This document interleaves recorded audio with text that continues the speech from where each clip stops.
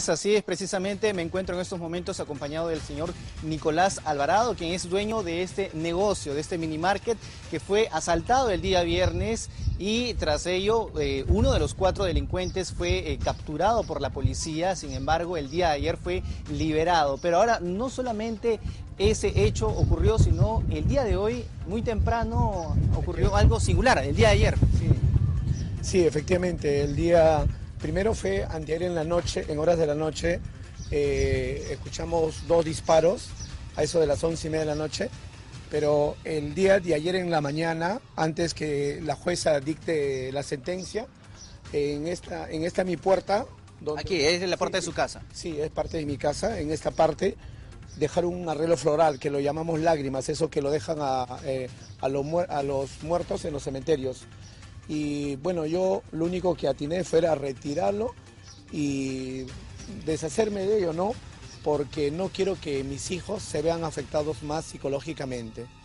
Y, bueno, yo eh, estoy seguro que todas esas amenazas vienen pues de parte de esta banda de criminales que está injertada por, por por Puente Piedra, este, Comas y San Martín.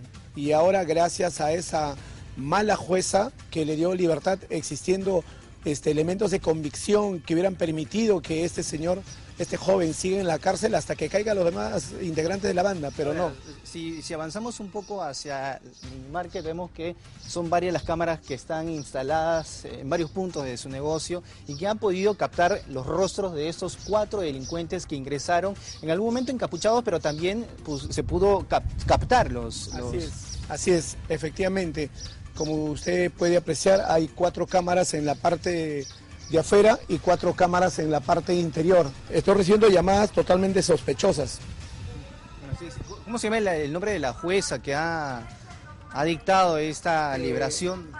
Eh, Ninel este, Orrillo, Orrillo, Ninel Orrillo. El delincuente que fue capturado se llama Walter Urbizagasteki Huancawari. Walter Urbizagasteki Huancawari delincuente confeso, porque él mismo confesó, delató a sus cómplices y por esta mala jueza fue liberado. Ahora yo vivo en el peligro y lo único que yo voy a hacer, amigo, es vivir así ahora, vivir, vivir así.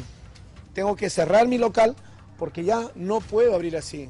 Ya nosotros con mi, con mi esposa, con mis hijos, hemos tomado la decisión de vender los productos perecibles que tenemos y vamos a tener que cerrar el negocio. Ese es el testimonio del señor Alvarado desde la urbanización El Bosque en Puente Piedra, una preocupación para toda la familia porque están en sus obras en constante peligro, según nos indican. Y adelante con ustedes con más información.